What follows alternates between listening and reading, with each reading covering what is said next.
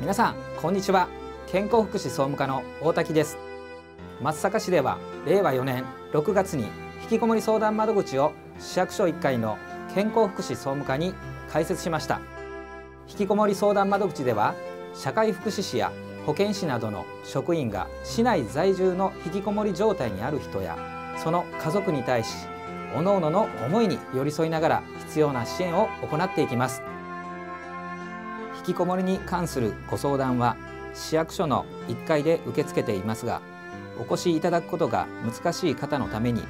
電話やメール、LINE での相談も受け付けています。電話は土曜、日曜、祝日、年末年始を除く平日の8時30分から5時15分までが受付時間ですがメールや LINE での相談は24時間受け付けています。相談しやすい方法でご連絡ください。また引きこもり相談窓口では相談しやすい体制づくり広報や情報の発信訪問型支援当事者向けの居場所づくり家族に対する支援支援者の育成支援町内連携多機関共同による支援地域の連携体制やネットワークを生かした支援の8つの取り組みを軸に支援を行っています。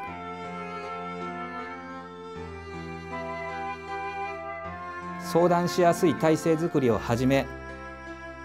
引きこもり当事者の社会参加支援や居場所づくり当事者を支えるご家族の支援引きこもりに対する理解促進なども実施していきます。まだ開設して間もない相談窓口ですがご本人やご家族の思いを大切にしご本人の状態意向などにより各種支援を組み合わせて必要な支援をオーダーメイドで考えご提案します。引きこもりは特別なものではなく誰にでも起こりうるものです。